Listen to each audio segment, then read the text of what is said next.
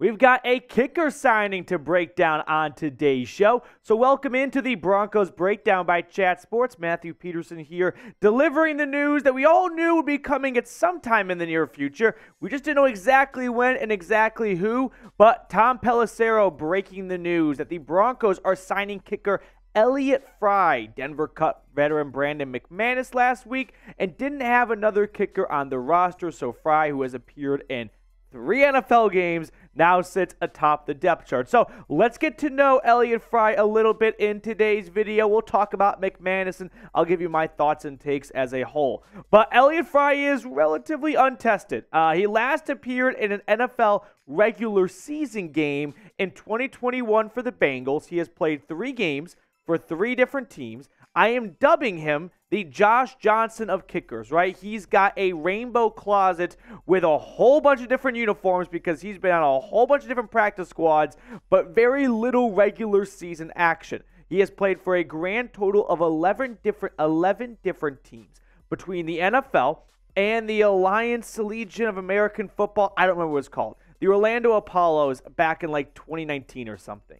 He was a UDFA in 2017 coming out of South Carolina. I went to Tennessee, so when I saw they signed Elliott Fry, I was like, where do I know that name from? I was like, oh yeah, he broke my heart 2016 against the Vols. Now, when we look at Fry's NFL career, he has been largely a practice squad slash off-season type of player. He first made his NFL debut ish with the Bears in 2019, but again, just as a practice squad player. He bounced around that year, went to Baltimore. The next year, he was in Carolina and Tampa Bay. He found a brief home. He kind of got the chance to stay more than just a month or two with Atlanta from 2021, 2020 to 2021, but he only kicked in one game for the Falcons. Then that same season, he goes over to Kansas City and kicks one game. 2021, he's back to the practice squad with Green Bay. Then he kicked for the Bengals in 2021 and the Jags in 2022 and the Cardinals. He was on the practice squad, signed earlier this offseason,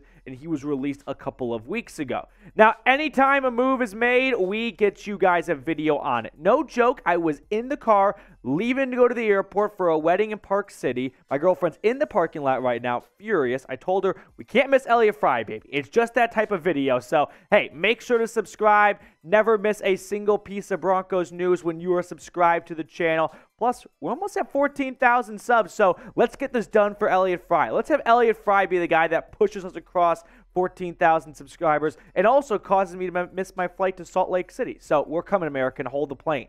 Now, Elliott Fry in his career, there's not a whole lot out there. He's five for six, eh, which is good, I guess, right?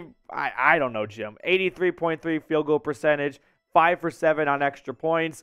He is largely untested, right? This is a move after having him in for a workout last week where Denver tried out a couple different kickers, including Brett Maher, and we'll look at some other kickers later on and ultimately decided we're going to go with Elliott Fry. So I'm not blown away that they went this direction because with the McManus route, it was a pretty, you know, notable name. Or excuse me, uh, a veteran player, and this time they kind of go the complete opposite direction. I think that's part of Sean Payton wanting to you know, revamp the entire special teams unit as a whole. So, in a moment, I'm going to ask you guys what your one word reaction is to this signing because I know it's not super easy to come up with a hard take coming out of this, but I am curious, you know, what is your one word reaction for the Broncos signing Elliott Fry?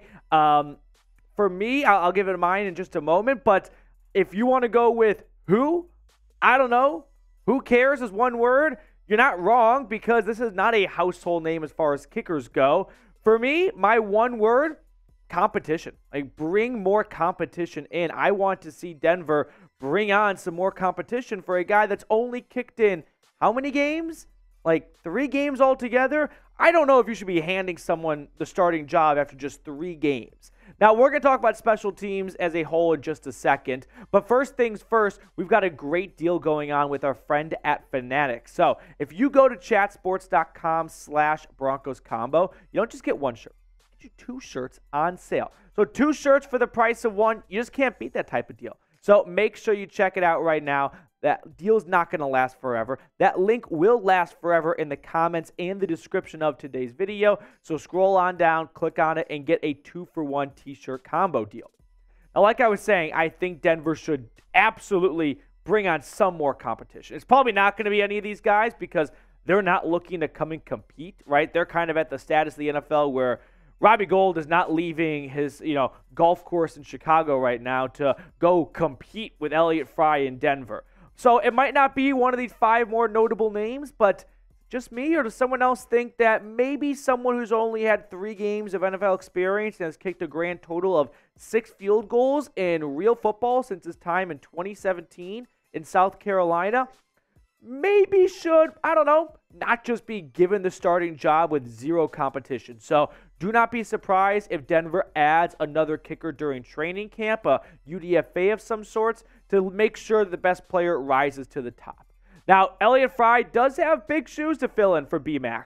Last season, McManus, 28 for 36, that field goal percentage, 77.8, was bottom half of the league for qualifying kickers. But we know that McManus was a staple of this team. He was the longest tenured player on this team before he was released, the last member of the 2015 Super Bowl roster. So McManus as a whole was a part of a complete gutting of the special teams unit. So that's where you get Elliott Fry as sort of like the last piece of the puzzle for Sean Payton to go in there and like, you know, home makeover edition just completely tear it down completely because last year was a disastrous special teams unit and McManus wasn't a bright spot in it. So I'm not terribly surprised they decided to save three plus million dollars and move on from a player who kicked sub 80% from field goal percentage last season.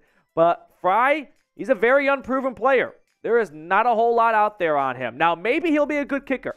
I'm not going to pretend to be a kicker guru and go, guys, I was watching his tape. I'm telling you, his plant foot is just teach tape material. I don't know that type of stuff when it comes to a player who's only had three games in the NFL. But if he impressed during the workout, I don't know if that means he was just the best of the rest. It wasn't a very intense competition. They only brought in two other players. Um, or it means they see they a diamond in the rough. A diamond in the rough that 10 other teams have passed on so far in the NFL.